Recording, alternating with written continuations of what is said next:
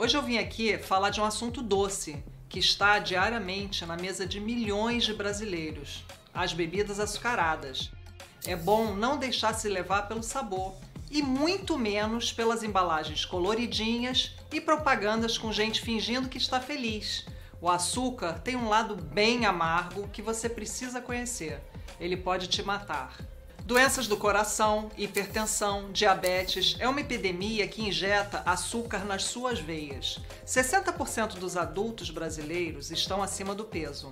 O problema é ainda maior para os mais novos. A cada três crianças, uma tem sobrepeso. E entre os adolescentes, a relação é de 1 para 4.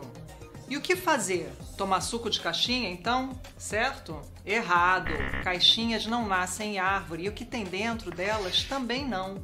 O que vem embalado por aquele papelão é açúcar e mais açúcar e aditivo. Para a indústria, a fruta só serve para aparecer na foto. O que, que o governo faz nesse cenário? Protege você, é claro? Claro que não. Pelo contrário, a sua morte é financiada pelo Estado. Empresas instaladas na Zona Franca de Manaus recebem benefícios fiscais. E o que, que fizeram os fabricantes de bebidas açucaradas? Se mandaram para lá, sedentos por lucros ainda maiores. E quem é que paga a conta, você já pode imaginar, né? Por ano são 7 bilhões de reais que deixam de ser recolhidos pelo país. Você ouviu certo, mas eu vou repetir: 7 bilhões de reais. É uma fortuna que poderia ser investida em políticas públicas de saúde, de educação, mas vai lá para fora.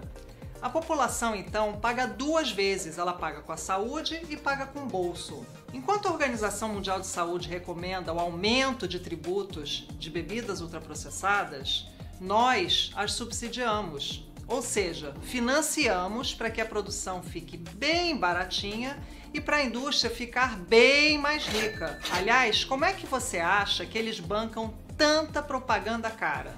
Se você pensou que cobrar mais impostos sobre esses venenos é a solução, acertou. Quanto maior o preço, menor é o consumo.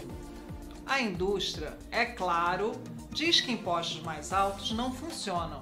Mas como é que a gente pode confiar em quem todo dia engana você com essas embalagens sedutoras, propagandas e slogans que te deixam mais animado, cheio de gás? Ah, desculpa, não consegui evitar.